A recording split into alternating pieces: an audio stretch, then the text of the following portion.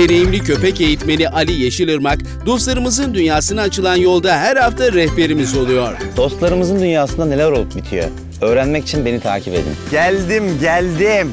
Çatladın orada. Tamamen ilerleyişimiz köpeklerimizin vücut formuna göre. Şu an çok küçük basılarla onun üzerinde olduğumu ona göstermeye çalışıyorum.